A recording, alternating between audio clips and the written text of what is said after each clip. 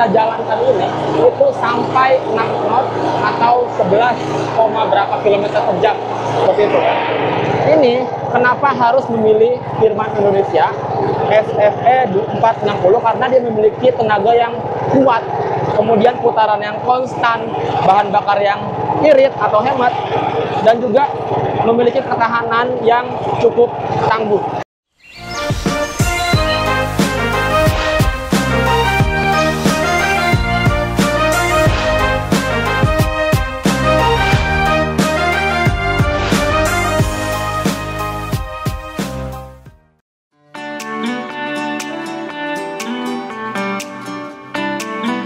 Di Indonesia banyak sekali menjual jenis mesin-mesin. Salah satunya adalah jenis ini, mesin penggerak serbaguna.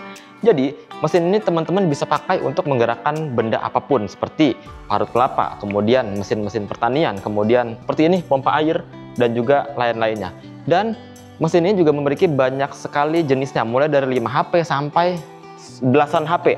Di kali ini saya akan mengajak teman-teman semua untuk melihat bagaimana saya mereview mesin penggerak berkapasitas 18 HP di perahu nelayan.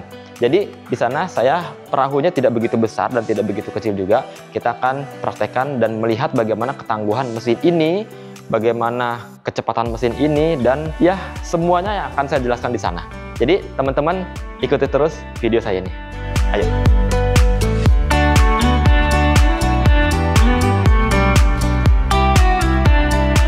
Sekarang saya sudah sampai di Pulau Bintang di Banten Lama ya. Kita akan naik kapal nelayan yang sudah dipasangkan engine Firman SFE 460 di sana. Ayo kita saya.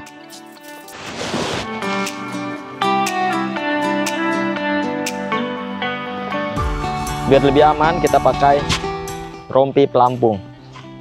Karena saya masih pemula sekali. Sekarang ini eh, kapalnya sudah dipasangkan ya, nanti saya bilang di sana. Jadi saya tidak mempraktekkan bagaimana cara pasangnya karena teman-teman nelayan pasti sudah tahu dan memang engine Firman ini sudah memiliki mounting untuk bisa dipasangkan di semua jenis perahu ter terutama mesin uh, perahu yang seperti ini ya.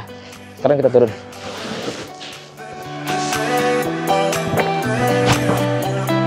Oke, seperti janji saya di awal video, saya akan mempraktekkan mesin penggerak ini di laut yang teman-teman bisa lihat di sini ini laut memang bukan laut lepas tapi di dekat daerah Banten. Jadi mesin ini memiliki daya 18 HP dengan putaran maksimum 3500 RPM. Kalau di perahu seperti ini, kita bisa dapat menempuh dengan kecepatan sampai 6 knot atau sekitar 11 km per jam. Gitu ya. Sekarang kita hidupkan langsung.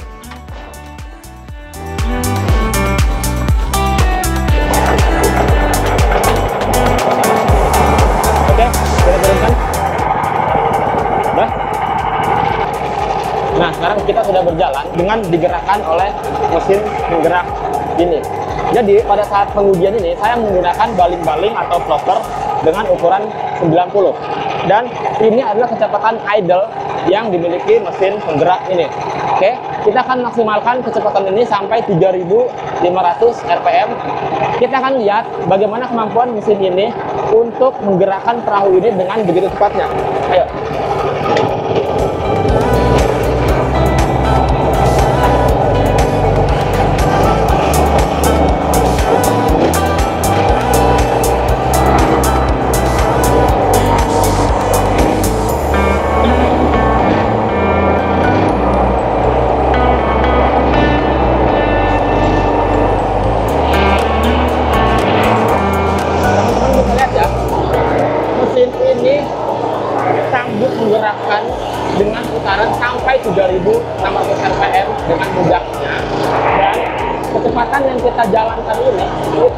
Sampai 6 knot atau 11, berapa kilometer per jam. Seperti itu. Ngomong-ngomong konsumsi bahan bakar jadi mesin ini memiliki konsumsi yang cukup irit.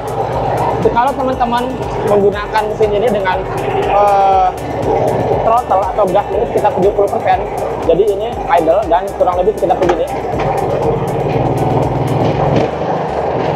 Ya kurang lebih sekitar segini teman-teman dapat menghabiskan bensin kurang lebih 3,5 liter 3,6 liter dalam waktu 4 jam. Itu cukup irit teman-teman. Kita akan coba lagi 100% ya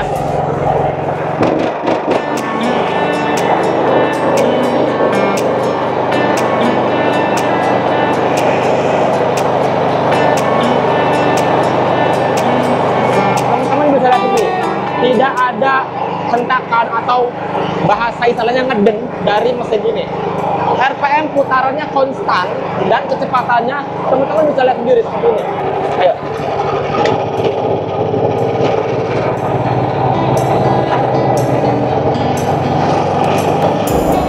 Sekarang teman-teman bertanya bagaimana ketersediaan spare part dari mesin penggerak ini. Teman-teman nggak usah khawatir. Sekarang teman-teman buka aja www.firmanindonesia.com, cari mesin ini dan itu ada kolom spare partnya, itu lengkap sekali spare partnya. Teman-teman bisa langsung order online gitu. Bagaimana dengan ketahanan dari mesin ini? Ya, jadi ketahanan mesin ini ini sangat tangguh sekali. Teman-teman nggak usah khawatir karena dia memiliki jaminan itu kurang lebih sekitar satu tahun. Oke, jadi untuk Bagaimana cara mendapatkannya? Gampang sekali. Di seluruh Indonesia, di kota-kota besar ataupun di daerah-daerah yang ada di sini, teman-teman bisa cari Firman Indonesia atau kalau teman-teman mau WhatsApp dulu, boleh WhatsApp di sini. Nah, jadi begitu ya. Jadi teman-teman, makanya ini kenapa harus memilih Firman Indonesia SFE 460 karena dia memiliki tenaga yang kuat kemudian putaran yang konstan, bahan bakar yang irit atau hemat, dan juga memiliki ketahanan yang cukup tangguh. Selain menggunakan perahu ini, jadi teman-teman bisa menggunakan mesin penggerak ini untuk berbagai macam kebutuhan seperti uh, parut kelapa, kemudian juga untuk menggerakkan traktor dan apa pun itu yang membutuhkan putaran dan menghasilkan apa pun itu yang teman-teman mau.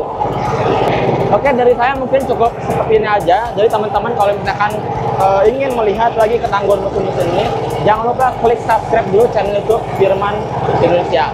Dari saya Sumenah dan sampai jumpa lagi.